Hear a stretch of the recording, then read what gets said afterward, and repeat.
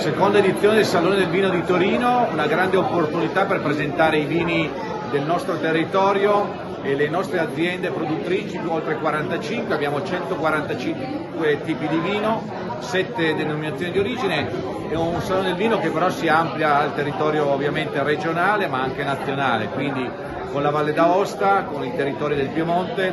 un grande happening per il vino, per